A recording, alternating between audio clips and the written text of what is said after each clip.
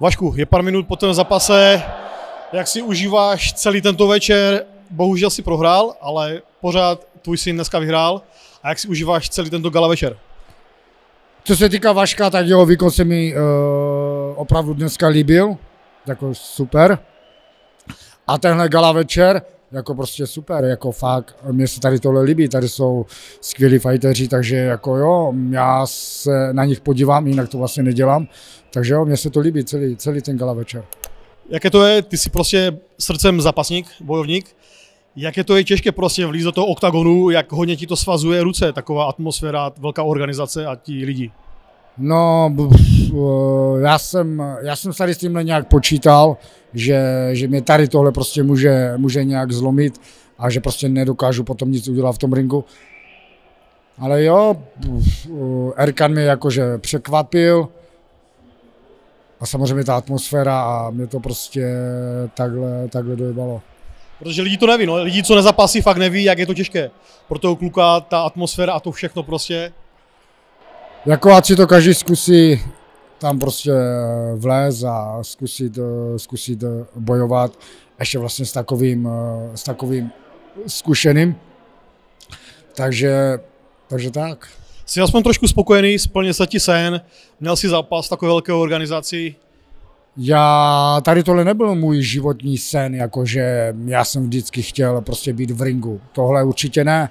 Já prostě jsem šel do toho, najednou jsem vstanul a najednou jsem si řekl, jo, já budu mít zápas. Kolem celé té karty byl velký hype už od začátku. Jaké to je být na jedné kartě se svým synem? Příjemné. Příjemné. Příjemné, prostě Jo, dobré. Při tom zápase, slyšel jsi Vaška, co ti říká, co ti radí? No jasně, že jsem ho poslouchal. Jasně, že jsem ho slyšel, ale to je jak říkám, on, on do mě mluvil, říkal mi, co mám dělat, ale prostě mě to fakt nešlo. A co říkáš na to, jak hodil ten ručník do toho ringu? Tohle bylo od Vaška rozhodnutí a já ho opravdu respektuji. Ale co chci říct, to asi hodně lidí neví, tady tohle uh, prostě takhle. Vaškovi bylo nějak 14-15 roku a byl, byla nějaká akce v Ostravě. Ostrava v plamenech. A Vaše tam měl svůj první zápas. Jo? A já vlastně to samé. V druhém kole jsem mu hodil ručník. Takže se to teďka vlastně otočilo. Jaké to je teďka hlídat Vaška? Začíná s být velká superstar. Je určitě hodně populární v Ostravě i celkově v republice. No, jako...